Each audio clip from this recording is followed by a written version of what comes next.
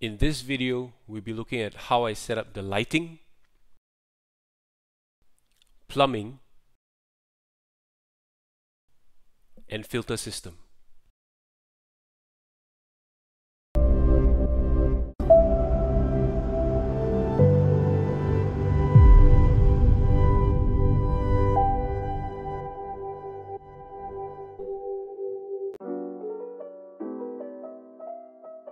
Hey guys, welcome back to my channel and thanks again for tuning in.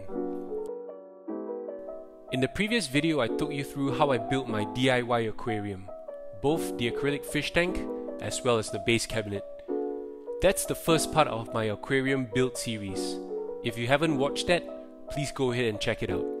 In this video, I'll be taking you through how I set up my aquarium lighting, plumbing, and filter system. As usual, I will leave the links in the description for the equipments you see in this video. Hope you'll find it useful for your own project. First off, I'm widening the holes I had drilled earlier to secure the light tubes. When you purchase aquarium light tubes, they usually come with suction cups for mounting. But over time, these suction cups will lose their grip and the light tubes will fall into the water.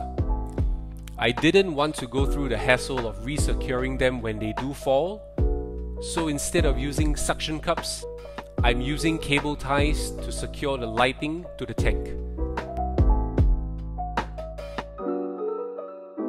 Here I'm threading the cable tie through the hole,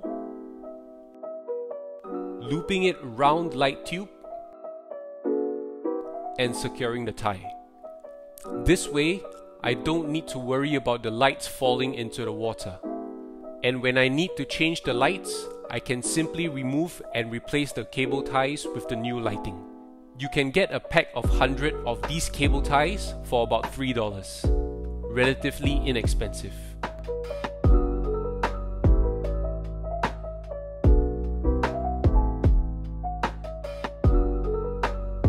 Next up, it's time to do the water test for the aquarium to check for leaks. But before I start filling the tank, I placed a water pump in and connected it. So in case there was a leak, I won't be caught scrambling and can pump out the water and address the situation quickly. I've removed the bottom trim before filling the tank. This is to water test the bottom joints, especially the four corners. If there was going to be a leak, it would usually be at these corners. Thankfully, there were no leaks till this stage. So I pumped out the water,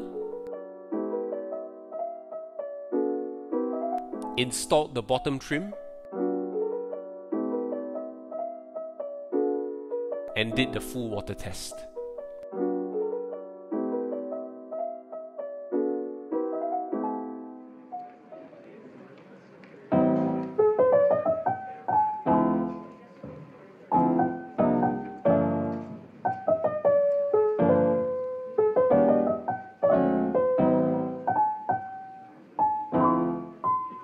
I closely monitored the filling process to check for any leaks.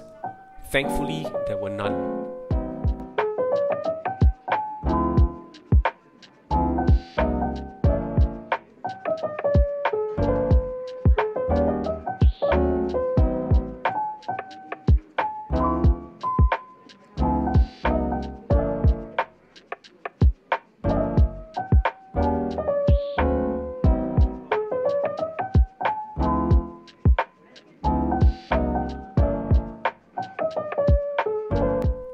Finally, I placed the top trim.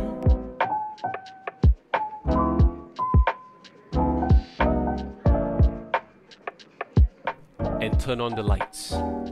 This is how my aquarium looks filled with the lights on. And here are a few night shots.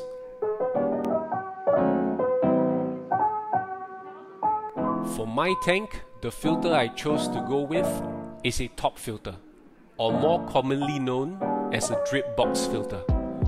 I had considered other types of filtration methods as well, each having their own pros and cons.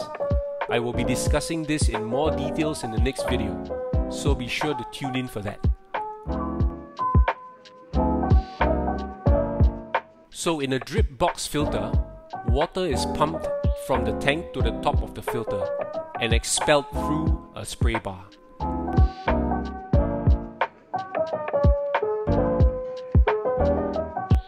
Default number of containers for this set is 12, 4 clear and 8 darkened.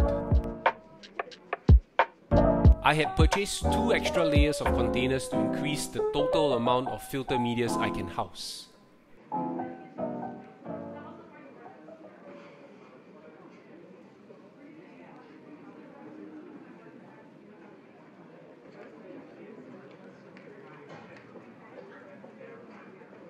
The four clear containers have drawers. These will contain the mechanical filtration and sits at the top level.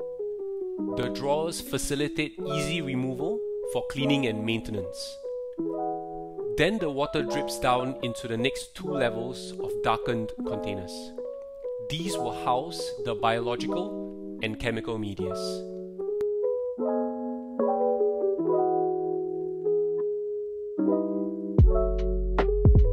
Have two sets of these drip box filters for this aquarium setup. I'm using two Sunsun submersible pumps, one for each side. They are rated at 40 watts and have a flow rate of 2500 liters per hour. Do note that this number greatly reduces the higher you pump the water to. I'm using a thickened PVC tube to deliver the water from the pump to the top of the filter. The pump outlet and PVC tubes are of the same diameter, so I'm using a short length of hose to connect the two.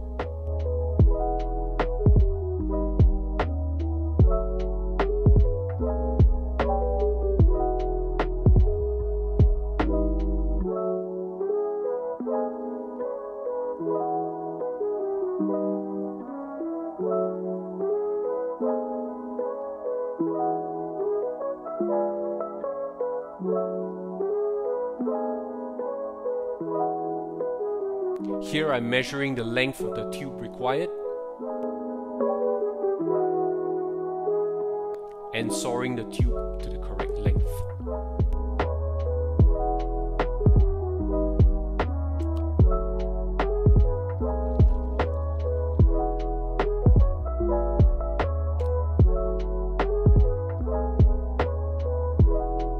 Turning on the pump for the first time, this is how the drip box filter looks without any media inside. The water is pumped from the tank up to the spray bar.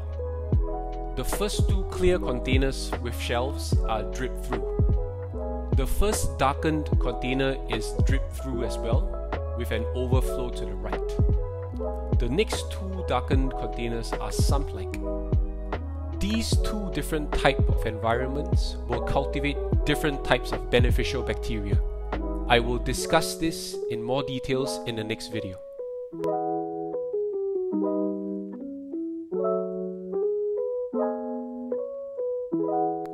Here I'm installing the Sunsun JVP402 wave pump.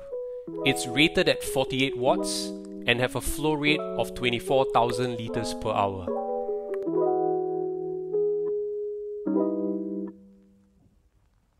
Here I'm installing a third submersible pump. Same like the other two, it's rated at 40 watts. This pump is specifically for water change, so that I can pump out the water quicker than using a siphon hose.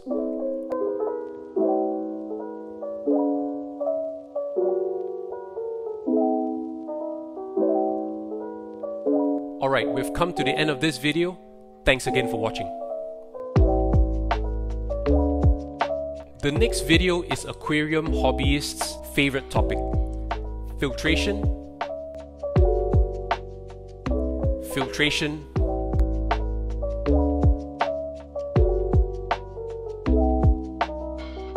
and filtration. Alright, see you in the next video.